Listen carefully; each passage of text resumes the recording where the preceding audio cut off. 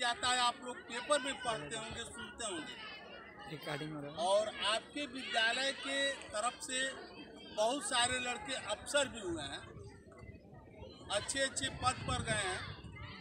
और इसी विद्यालय की उपज हमारे भी घर के छः बच्चे। तो हम यह कहेंगे खेल के साथ पढ़ाई। ज्ञान रहेगा, तभी आप कहीं खड़े होंगे। और केवल खेल होगा तो कोई जानेगा नहीं। इसलिए प्यारे बच्चों, मैं यही आप लोगों को आशीर्वाद दूँगा। जगत जननी जगदम्बा से प्रार्थना करूँगा कि आप लोगों का भविष्य उज्जवल हो।